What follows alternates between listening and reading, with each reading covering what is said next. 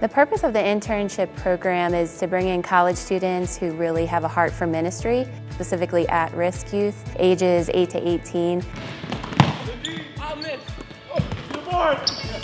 There's no agenda when we come here, so it's really about us being genuine, being what the kids can rely on and trust.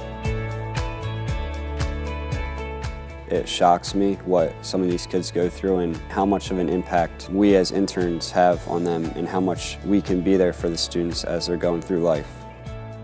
For them to get to come here just for three hours a day and us have fun with them, just laugh with them, talk with them. I've seen so many emotional barriers get broken down to where they trust me and they trust all of us and it's been incredible just seeing that openness just in the short time that I've been here. Really cool to like have such deep relationships at a job.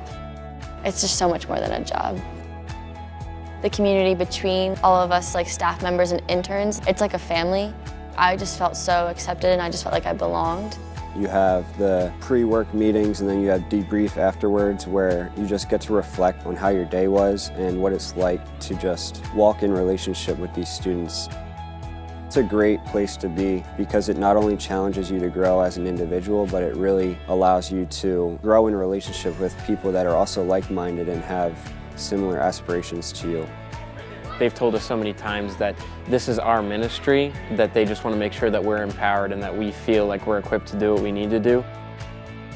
Give me a voice, because I used to be shy, never talk. Yeah, it helped me grow out of that shy stage and wanted to help other people grow out of that.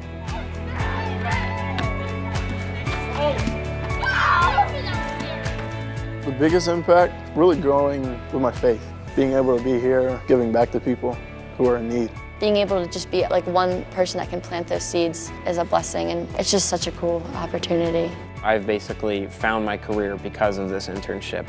God's really just bringing us closer to Him as He's bringing us closer to each other. I think that's the most important part about the internship.